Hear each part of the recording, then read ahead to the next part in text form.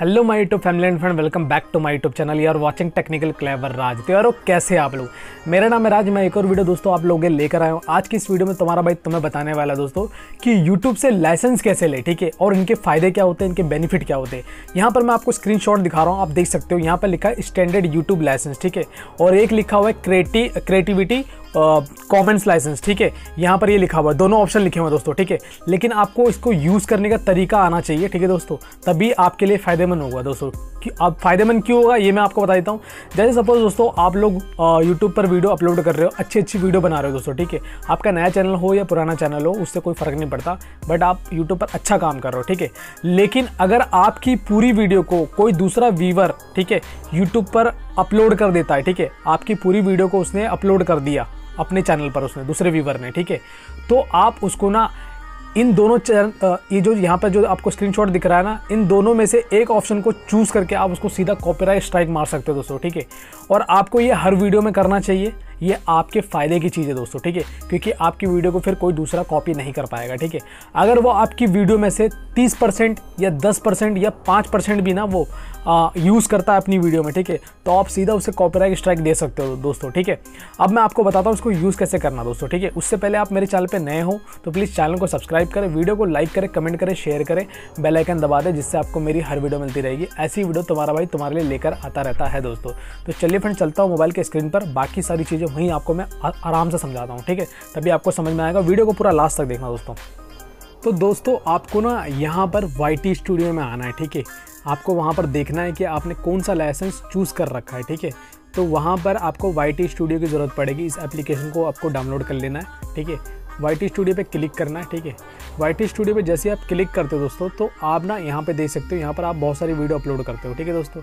यहाँ पर आपको इन सब पर ना वो जो स्टैंडर्ड यूट्यूब लाइसेंस है ना, उसको आपको मतलब सेलेक्ट करके रखना है कि मतलब अगर आपकी वीडियो पर कोई भी, आपकी वीडियो को कोई भी यूज़ करता है ना तो सीधा उसको आप कॉपीराइट स्ट्राइक दे सकते हो, ठीक है? तो यहाँ पे आप दे सकते हो। तो अब उसके लिए करना क्या, आपको कोई भी एक वीडियो पर क्लिक करना है, ठीक है? एक मैं ऊपर वाली कोई भी एक एक वीडियो ले रहा हूँ, ठीक है? इस पर क्लिक कर दिया, ठीक है? उसके बाद क्या करना दोस्तों, आपको ये पेंसिल वाले ऑप्शन पर आ जाना है, ठीक है? पेंसिल वाले ऑप्शन पर आना है, ठीक है दोस्तों? उसके बाद ना यहाँ एडवांस सेटिंग लिखा हुआ है दोस्तों, ठीक है? एडवांस सेटिंग पे आपको क्लिक करना है, ठीक है? तो यहाँ आप देख सकते हो, यहाँ पर ना आपको यहाँ पे लिखा हुआ है स्टैंडर्ड यूट्यूब लाइसेंस ठीक है?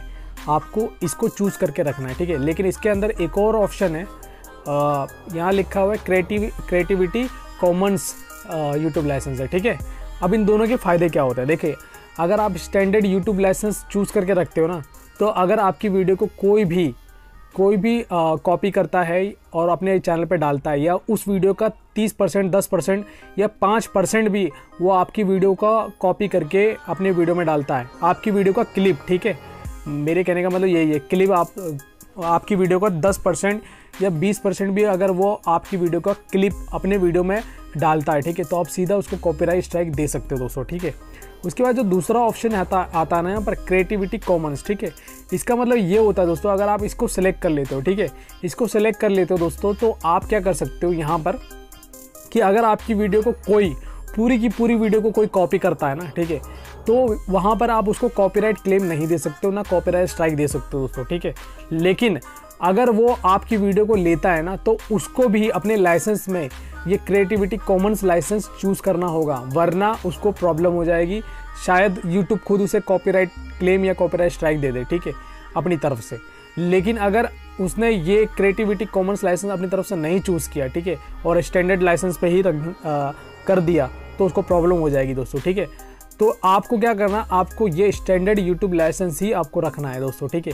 जिससे आपकी वीडियो का कोई भी क्लिप आ, कोई दूसरा यूज़ ना कर पाए ठीक है? क्योंकि आज आज के टाइम में ऐसे बहुत सारे लोग हैं जो पूरी की पूरी वीडियो उठाकर यूट्यूब से डाल देते हैं अपने चैनल पर।